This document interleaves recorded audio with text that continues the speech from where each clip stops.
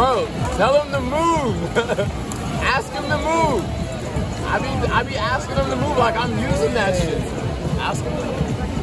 Fuck it. Got it. Still, bro. Damn. I could go for like, uh,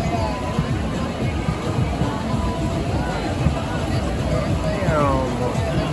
People mad oblivious. All right, bet.